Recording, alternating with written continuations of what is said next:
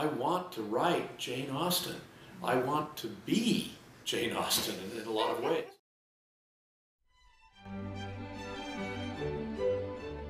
That her favorite book was Evelina by Fanny Burney. I had never heard of Fanny Burney. I had never heard of Evelina. But it occurred to me that it really might be interesting to see what this most brilliant of English novelists thought was one of the best books that she had read.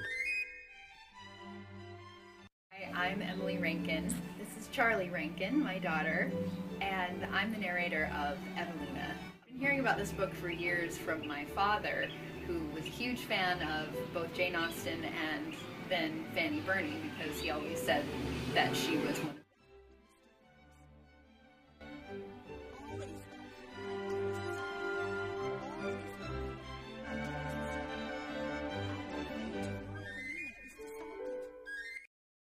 um, yeah, no, no dropped R's, which was harder than I expected.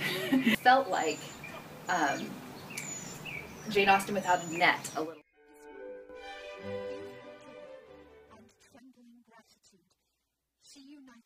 Letter 29. Mr. Villars to Evelina. Berry Hill, May 2.